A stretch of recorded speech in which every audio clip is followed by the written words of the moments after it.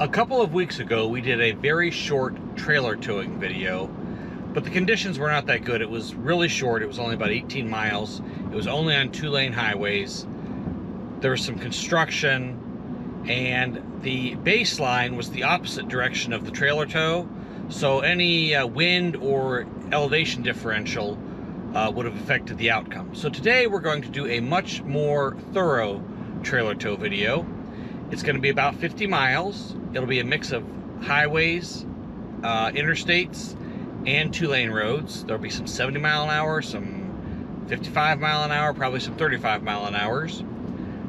And we're going to do it, we're going to do a baseline without the trailer from the exact same route we're going to take pulling the trailer.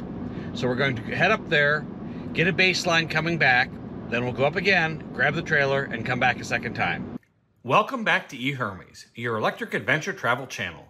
Please remember to subscribe, hit the like button, and hit that bell button to be notified of our upcoming content. We are at the starting point with no load. We're going to reset the trip 2 to zeros. Okay, we have 51% range, says 155 miles.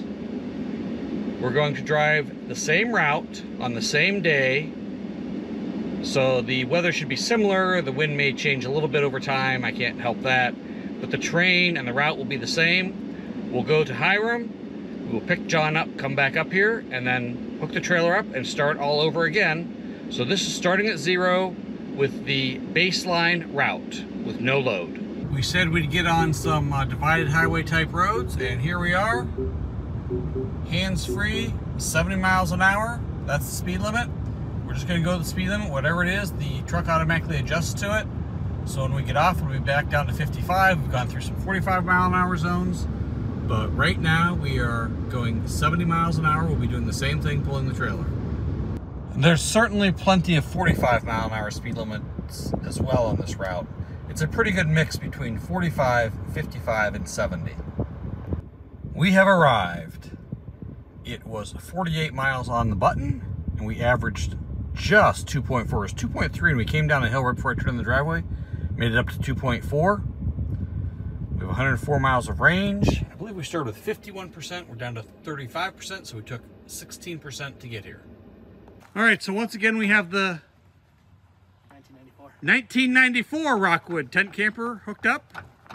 We're gonna tow it the same 48 miles we towed well, we drove without anything behind the truck. The same speed, the same route, the same hills, pretty much the same wind.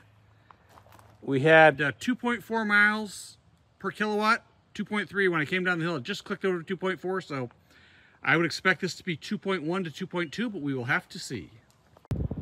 All right, here we are back at the starting point. We are going to reset trip two. We're gonna use the same speeds, same route, same everything. Let's see what we come up with. So you can't even really see the trailer back there. It's actually lower than the top of the bed. So we're not getting a lot of wind resistance, that's for sure. Just like when we were empty, we're going 70 miles an hour on the highway, trying to duplicate the conditions. If you'll notice, just to make things interesting, we barely have enough battery to get home, so this is kind of a do or die, making sure my assumptions are correct. Yes, it's yelling at me. We have 61 miles of range. We have about 35 miles to go. We should be fine.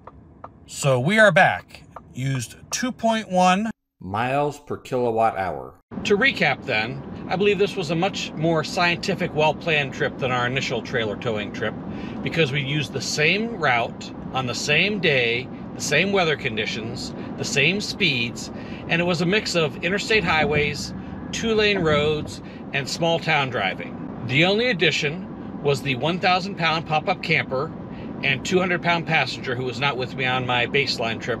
We went from 2.4 miles per kilowatt hour down to 2.1 miles per kilowatt hour, a reduction of 12.5%. Due to the low profile of the pop-up camper, the fact that it has minimal additional wind resistance, The only real difference is the weight you're pulling and the added passenger. I believe this shows that one could easily pull a pop-up camper behind this vehicle, particularly if you have the extended range battery. Had we been more interstate driving and less rural towns and rural back road driving, certainly I think both numbers would have been lower. I suspect that the unloaded load would have been around 2.1 to 2.2 and with the load it probably would have been 1.6 to 1.7 and maybe the difference would have been 15% in the future we hope to tow with different trailers uh, some with a higher profile and slightly heavier and we'll give you the results of those tests when we do them. So that concludes this video. If you liked it please hit that like button.